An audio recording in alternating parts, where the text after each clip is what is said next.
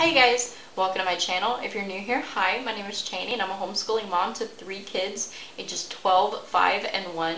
And today I'm going to be participating in the collab with Jessica from the Waldock Way and Abby from Rooted in Rest. And today I'm going to be talking about homeschool mom self-care. So this is a topic that is probably very the nearest and dearest of all of the topics in this collab uh, and that is because I am not very good at self-care. It's very true. I am notoriously terrible at putting myself dead last in the tier list of who to take care of. But I'm going to do my best to try to share with you some of the things that I have learned over my years of both homeschooling and homemaking motherhood because the whole thing is a vibe. There are two things I think I, I want to share with you that have been the most important to me, for me personally. And they're very, very simple things in theory, but in practice for me, they have been the most powerful habits that I have gotten into to keep my mental health afloat. uh, I'm not sure about the other women in this collab, but I personally very heavily struggled with postpartum depression and it can be a very, very dark time. And so when people give you self-care advice where they're like, oh, you know, make sure that you go out on a date once a month or um, you know, go go shopping by yourself or you know, go get your hair done. Uh, they sound great and thanks, but when you're struggling with mental health, they're not very helpful tips because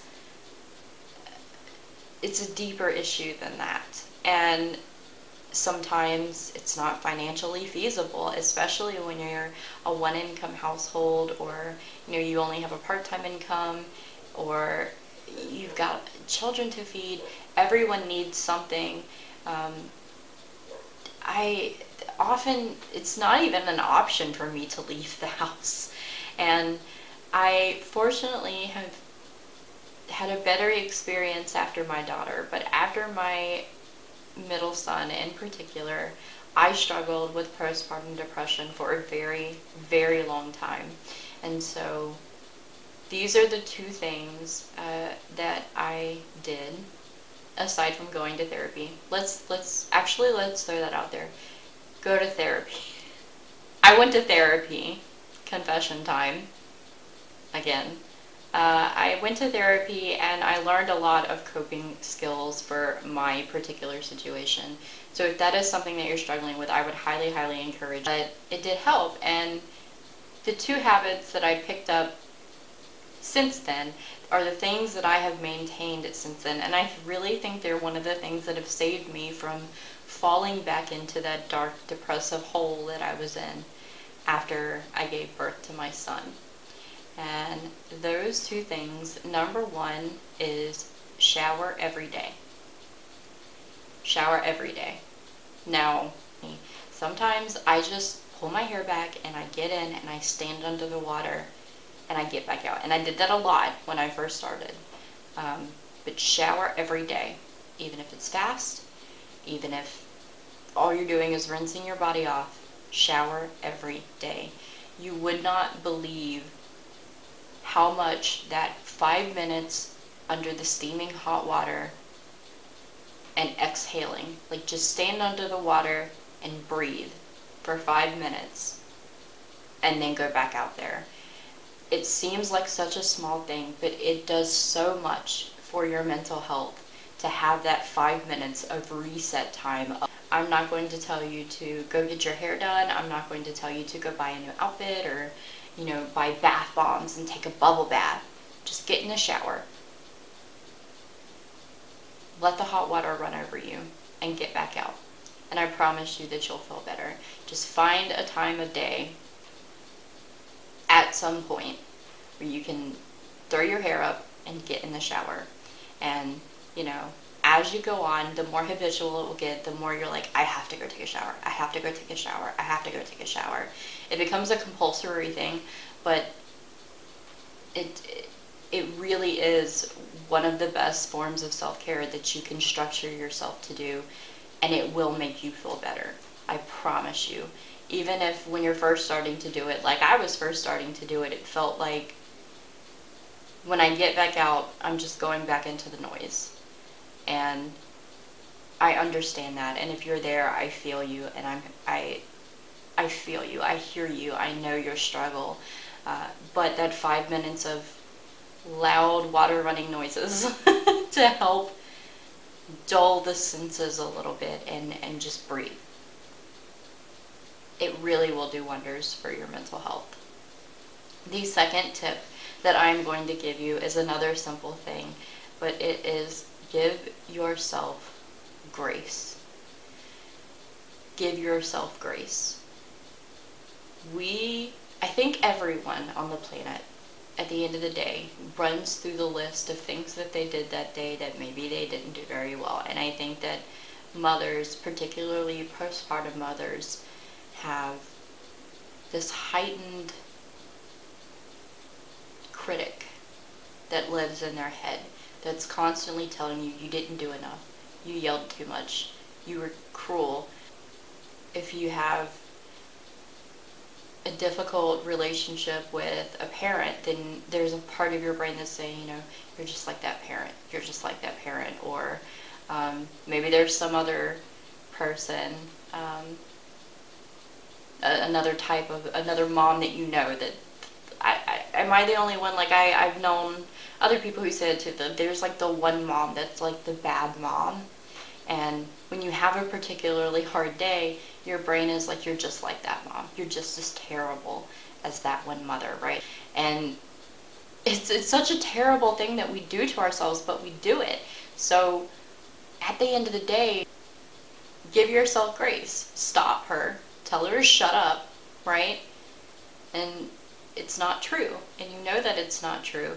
And I want you to get into the habit at the end of the day of giving yourself the same grace that you give to your children when they make mistakes. So at the end of the day, when you hear that tiny, that, that other mother inside of you telling you what a terrible mother you were because you haven't lived up to this impossible standard that this other mother has set for you, I want you to take a step back and give yourself grace. I want you, if, if prayer is something that you do, I want you to pray for you. I want you to pray for you. I want you to push everything and everyone else aside and I want you to pray for you and that you can show yourself grace. That you can forgive yourself for what you did today. That you can learn from what you did today and that you can be better tomorrow. And cycle through. It's, it's fine to go over that situation where you yelled at your kid and it, you know, you feel like it wasn't your fault or that was a really big reaction and you shouldn't have reacted that way, it's okay. Fine. It's okay to acknowledge that maybe you didn't do the best, but you didn't do the worst either. And it's okay to acknowledge that too. So when you're really upset about uh, my children don't live in a four-story house, fine. But do they live on the streets? No? then you're doing better than some. You know, you've given them shelter. So give yourself grace. Are you working to make it better? Yes? So give yourself grace. Are you working to keep food on the table? Yes? Give yourself grace. Are your children happy? Are they happy? Do they smile? Do they laugh? Did they laugh today? Today, on the day that you think you've made this horrible, irrevocable mistake that they're never going to forgive you for because you fed them chicken nuggets instead of making them a home cooked meal. Did they smile? Are they healthy? Are they happy? Yes? Give yourself grace. I promise you, even now, giving myself grace is something that is very difficult. Judging myself is something that I still struggle with on a daily basis.